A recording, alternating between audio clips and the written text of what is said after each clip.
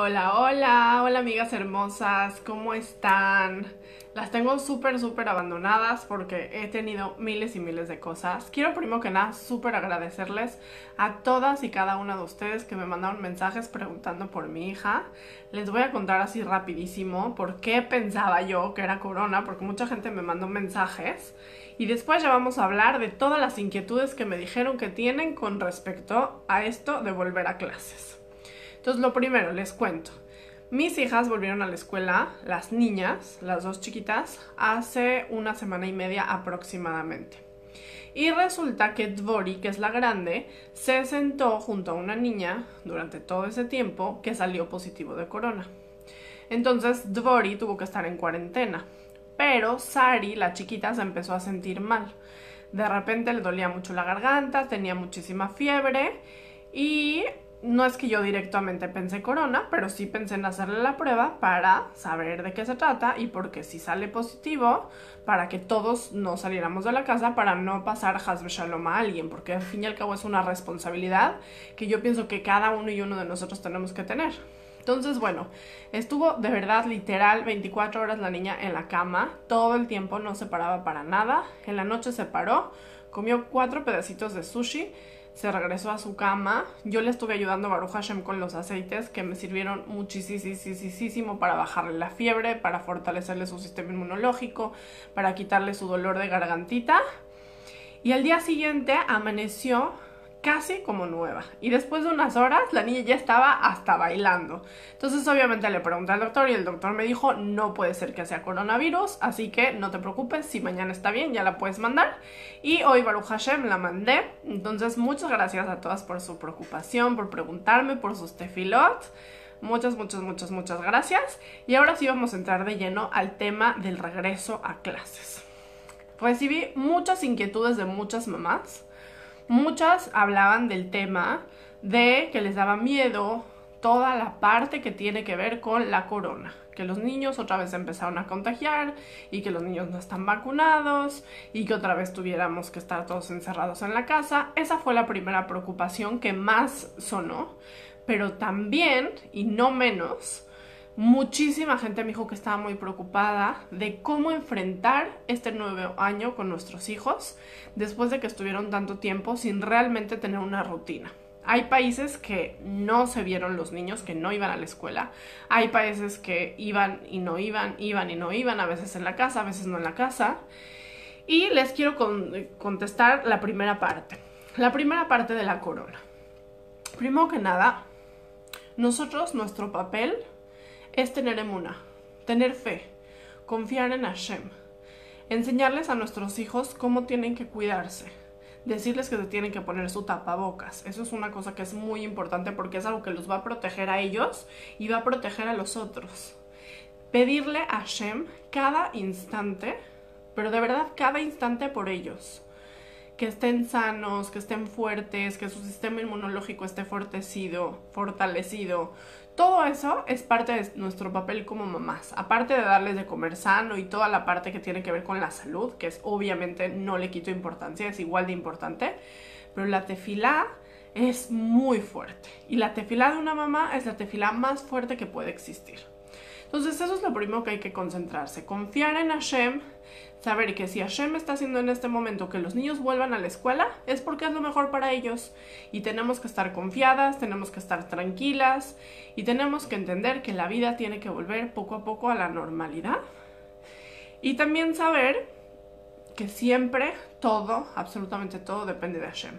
Nosotros claro que debemos de cuidarnos porque si no nos cuidamos, entonces no podemos decir o echarle la culpa a alguien más. Nosotros tenemos la responsabilidad de cuidarnos, de cuidar a nuestros hijos. Ustedes saben que yo pienso que las personas sí deben de vacunarse. ¿Por qué? Porque pienso que es mejor vacunarse y sentirse mal o que caiga mal la vacuna a que Hasbe Shalom la persona le dé corona, sobre todo la gente mayor, y que Hasbe Shalom les pase algo más grave.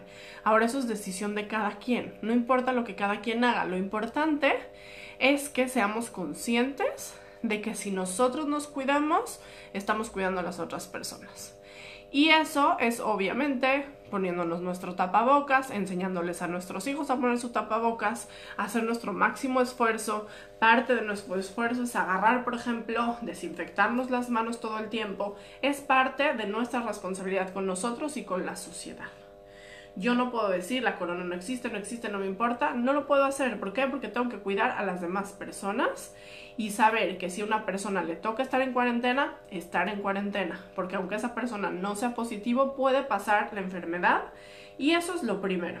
Ahora, toda la parte inmunológica, ustedes saben muy bien que yo confío muchísimo en los aceites. Yo he visto los resultados con los aceites. Les voy a contar una cosa que no les había contado, pero en la escuela de mi hijo hicieron unas pruebas para ver si el niño, o sea, nada más a Joseph Shalom se le hicieron para ver si tenía anticuerpos. ¿Y qué creen? Que salió que Baruch Hashem tiene anticuerpos. Eso quiere decir que el niño pasó la corona. No me enteré yo no supe que la tuvo. Me acuerdo que cuando estábamos de vacaciones, y de hecho eso sí se los compartí, cuando veníamos de regreso, a él le subió la fiebre y yo se la bajé y le empecé a fortalecer su sistema inmunológico con ayuda de los aceites. Salió adelante en uno o dos días y listo. Pero yo nunca jamás me imaginé que era corona porque yo no lo vi nada mal. Lo vi como con un virus normal. No, no es algo que me preocupó mucho, no le duró muchos días la fiebre, de hecho creo que fue menos de 24 horas. Entonces tenemos que saber que estamos en las manos de Hashem.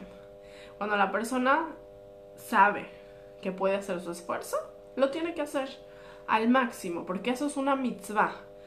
La Torah nos dice, Ushmartem meo, dice, cuidarán mucho. Y esta es la única mitzvah de toda la Torah que dice mucho, que es cuidarse. Nunca está de más prevenir, nunca. Nunca, nunca, nunca, nunca. Entonces, vamos por ese camino, vamos a mandar a nuestros hijos con sus desinfectantes. Pueden utilizar las que tienen los aceites, el On en, en brisa. Con eso desinfectar perfecto sus manos, todos sus útiles. Que se pongan muy bien su tapabocas. Si les cuesta trabajo el tapabocas, les pueden poner unas gotitas de aceite para que el niño pueda respirar y listo. Ahora, vamos a pasar a la parte emocional. Claro que es difícil todos los años es difícil, con corona y sin corona. ¿Por qué? Porque es empezar una etapa nueva, un año nuevo, estuvieron unos cuantos meses o años, sí, pues sí, un año y medio, casi dos, sí, años, sin ver a sus amiguitos y se olvidaron lo que es socializar. Y obviamente sí tenemos que estar preocupadas, pero no realmente preocupadas, sino más bien ocupadas. ¿Qué es lo que tenemos que hacer? Hablar con nuestros hijos todo el tiempo preguntarles cómo están, cómo se sienten, ayudarlos a encontrar sus emociones, a reconocer sus emociones, a conectar con ellas, a ponerles nombre a las emociones, porque muchas veces un niño está enojado, pero no sabe decir estoy enojado. Y si sabe decir por qué está enojado, o sea, que está enojado, que sepa decir por qué está enojado. La única forma de que nosotros hagamos que estos niños chiquitos el día de mañana sean adultos conscientes de sus emociones es ayudándolos y enseñándoles desde hoy. ¿Qué es lo que vamos a hacer? Hablar con ellos, todos aquellos que todavía no han entrado a clases, hablarles de que ustedes los entienden, ponerse en su lugar. Obviamente no decirles, no, pues yo me imagino que es muy difícil. Si el niño no nos ha dicho que es difícil, no le digan que es difícil, porque si le decimos que es difícil, le estamos metiendo algo negativo. Le tenemos que decir que todo está en manos de Hashem, que le va a ir muy bien, que va a tener muy buenos amigos o amigas, que tiene que estar tranquilo, que tú vas a estar ahí para acompañarlo en cada uno y uno de los pasos que él tiene que saber que este inicio de clases es una nueva oportunidad para tener buenos amigos, para aprender muchísimas cosas, para poder seguir estudiando y enseñarle toda la parte increíble y positiva que tiene el volver a clases. Cuando el niño vea que todas las cosas que nosotros le estamos enseñando, que tal vez él no las tiene consciente, son súper positivas, ¿qué es lo que va a pasar? Que ese positivismo va a ayudar a que sus miedos bajen. Va a ayudar a que el niño pueda estar un poco más tranquilo. ¿Qué es lo que pasa? Los niños se estresan. Muchas veces pensamos que solo los adultos vivimos estresados. Pero de verdad que no es así. También los niños están estresados, a veces no saben decirlo. Puede decir que cuando ya puede ser que cuando ya van a ir a la escuela, de repente se empiezan a pelear con sus hermanos o empiezan a llorar por todo, y entonces nosotros decimos, "No, ya estoy cansada de que el niño todo el tiempo llora." No, tienes que entender que tiene miedo. No le digas, "Oye, tienes miedo." No. Ayúdalo a ver qué es lo que siente. Dile, "A ver, dime, yo he estado viendo que estás muy llorón o que cualquier cosa te irrita o que estás peleando mucho con tus hermanos. Cuéntame, ¿qué es lo que te está pasando? ¿Qué es lo que sientes? Cuando lloras, ¿por qué lloras? No le demos nosotros ideas, sino que preguntémosles preguntas para que ellos lleguen a la conclusión. Y así les vamos a ayudar a manejar este estrés antes de que entren a las clases. Y obviamente nosotras mismas tenemos que trabajar en nuestro estrés si nosotros estamos así de, ay, no, el niño ya se va a la escuela y temblando, pues se lo vamos a transmitir. Hasta un niño que está feliz de que ya se va a ir, pues el niño va a decir, no, pues esto está peligroso, está raro. Entonces es muy importante también trabajar en nosotras mismas. Y por eso tenemos que encontrar qué es lo que nos está moviendo, qué es lo que nos está preocupando y echárselo a Shem. Decirle a Shem, aquí está mi paquetito de preocupación, de estrés, de inquietudes, tómalo te lo doy, por favor ocúpate de él porque yo no puedo hacer nada. Yo no puedo hacer absolutamente nada, dejo todo en tus manos. Cuando ya le ayudamos al niño a entender qué es lo que le está pasando, le vamos a preguntar qué le ayudaría a sentirse mejor. Entonces cada niño nos va a decir otra cosa. Hay niños que nos van a decir, no, pues eh, a mí me gusta escuchar música y entonces le ponemos música. Van a haber niños que van a decir que quieren cantar, van a haber niños que dicen que quieren leer un cuento, van a haber niños que van a decir que les gusta ponerse a jugar cuando están nerviosos. Cada uno tiene que encontrar su propia forma de tranquilizarse.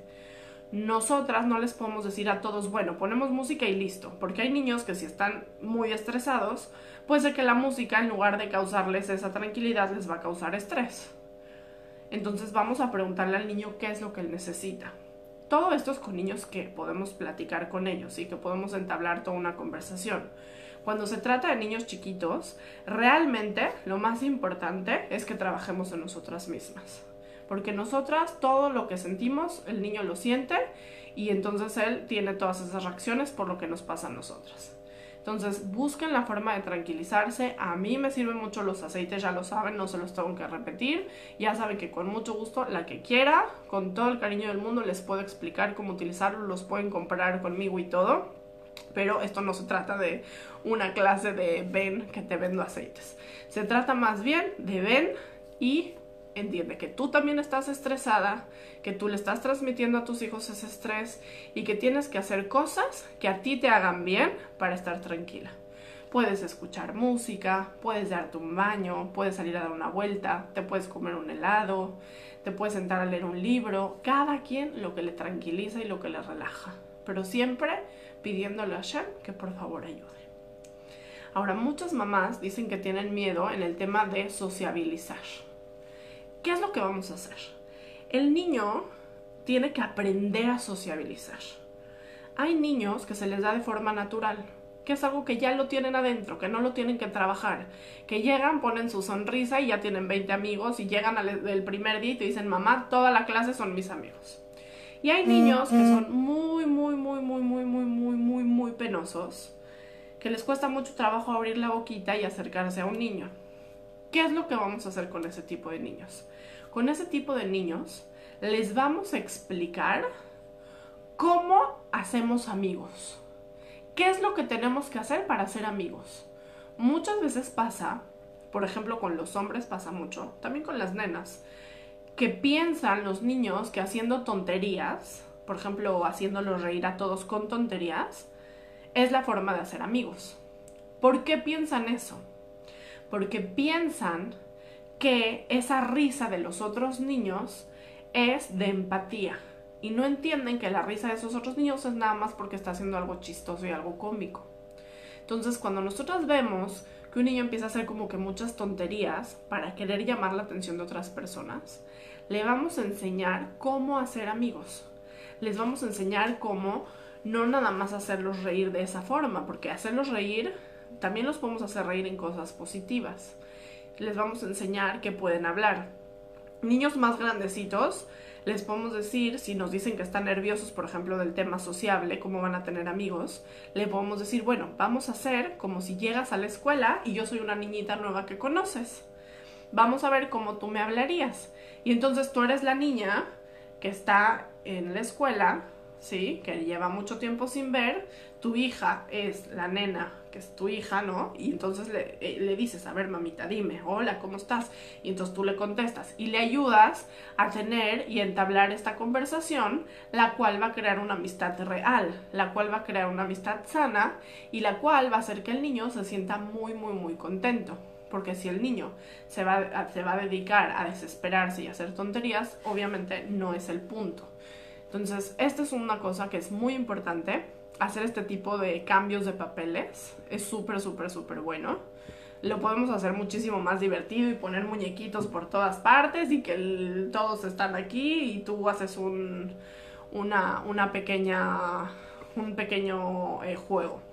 Ahora, otra cosa súper buena para poder entender lo que les está pasando a nuestros niños es hacer un ejercicio en el cual nosotros le decimos al niño que nos va a contar a nosotras un cuento o una historia. Para eso vamos a agarrar dos muñecas, dos ositos, lo que sea, y entonces vamos a empezar a ver qué es la historia que le está contando o ella está contando. Muchas veces ahí nos vamos a dar cuenta de todos sus miedos. Cuando un niño está jugando este juego que son juegos de imaginación, muchas veces los niños sacan toda esa parte. De hecho, si ustedes se pueden analizar, ¿cuántas terapias no hay que se tratan de eso, del juego? De pensar, ok, esta es una muñequita y ta, ta, ta. ¿Por qué lo hacen?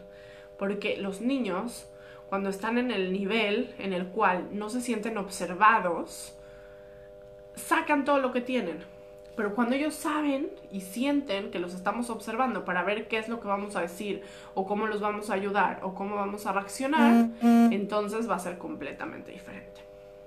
Entonces, bueno, pienso que esas son las cosas como que más, más, más importantes. Saber que Hashem les mandó esta prueba a nuestros hijos, igual que nos las mandó a nosotros. Todas tenemos la prueba que hemos estado pasando este año y medio de incertidumbre, de que no sabemos lo que va a pasar mañana. Y así como nosotras hemos superado esta prueba y estamos el día de hoy aquí, de la misma forma, Hashem les mandó la fuerza a nuestros hijos para enfrentar todos los cambios. Así como estábamos nerviosos cuando iban a tener que estudiar por una computadora o por un teléfono y no entendíamos cómo podía ser posible una cosa así, y al final lo lograron. Tal vez no como pensábamos, pero lo lograron. Hashem les dio la fuerza igual que a ti te dio la fuerza. Entonces confía en esa fuerza que Hashem le dio y no digas nunca jamás en fuerte y nunca jamás lo digas en tu cabeza, pobrecitos mis hijos que tuvieron que vivir una pandemia.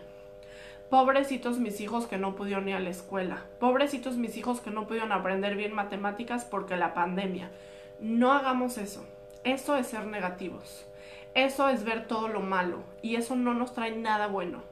Lo que tenemos que hacer es enfocarnos en lo bueno, en decir, Hashem les dio eso por algo. Hoy puede ser que no lo entendamos, pero Él se los dio por algo y es lo mejor que les pudo haber pasado en la vida, por más loco que parezca. Nosotros no sabemos cuál es el plan de Hashem, no lo sabemos. Hashem tiene un plan perfecto, pero ese plan perfecto está envuelto por una envoltura tú puedes ver a veces el dulce más rico del mundo que está dentro de una envoltura y como no sabes lo que hay adentro, la envoltura se puede llegar a ver hasta fea, pero adentro es dulce. De la misma forma, todo lo que nos ha mandado Hashem en este año y medio y todo lo que nos ha mandado siempre es para nuestro bien. Así que, estate tranquila. Hashem va a cuidar a nuestros hijos, tanto de las cosas físicas, como de las cosas emocionales. Habla en tu casa de Emuná. Cuéntales a tus hijos tus historias en donde tú ves la mano de Hashem. Aprovecha esos momentos cuando están comiendo para fortalecer toda esa parte. Cuando tú sientes una cosa y una conexión con Hashem de algo que dices es que wow, qué coincidencia. No, no, no, no es que coincidencia, es wow, Hashem me puso esto exactamente para mí. ¿Por qué? Porque eso es lo mejor para mí.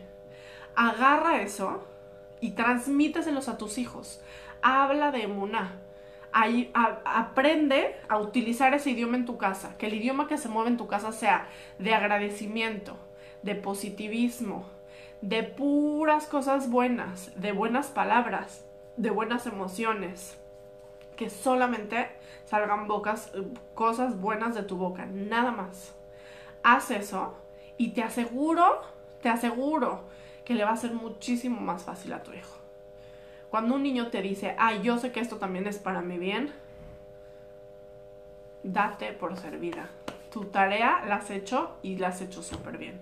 Pero para que suceda eso, a la fuerza, pero a la fuerza, tenemos que utilizar este tipo de lenguaje en nuestra casa. Así que bueno, si tienen alguna pregunta más, algún tema de todo este regreso a clases que les gustaría platicar, alguna cosa que quisieran, por ejemplo, compartir que ustedes se han dado cuenta de esta pandemia, que quisieran que yo se los transmita a otras personas, alguna historia que han tenido que dicen, wow, Becky, tienes razón, yo he visto la mano de Hashem, escríbanlo, de verdad escríbanlo, porque esas son cosas que nos fortalecen. Y si ustedes me cuentan cosas increíbles, yo también voy a poder transmitirlo a las demás mamás. Porque cuando nosotros escuchamos historias de ese tipo nos da tranquilidad. Entonces, si tú tienes una historia linda para contar, me la puedes mandar por privado o la puedes poner aquí. Yo siempre leo los mensajes, aunque no contesto siempre, siempre, porque son muchos. De verdad, de verdad que siempre los leo, siempre estoy al pendiente, siempre estoy súper agradecida de todo lo que hacen, de cómo están ahí siempre escuchando y haciéndote filar y riéndose conmigo y pasándosela lindo. Seamos positivas transmitámosles todo esto a nuestros hijos para que nuestros hijos sean niños sanos el día de mañana, físicamente, emocionalmente y espiritualmente. Así que bueno, les mando un beso muy muy grande, que estén muy bien. Yo creo que ya no me voy a conectar mañana, pero quién sabe, en una de esas sí sí. Pero igual les digo Shabbat Shalom, que estén muy bien, les mando un beso muy, muy, muy, muy, muy grande. Y las que no me siguen en TikTok, síganme en TikTok porque estoy subiendo pequeños videitos ahí, están interesantes. Espero que les guste. Si hay alguna cosa que les gustaría que haga mejor, me encanta saber. Y bueno, les mando un beso muy, muy, muy, muy, muy grande. No tiene una idea cómo me cuesta despedirme cada vez que hago una clase. Pero bueno, bye bye.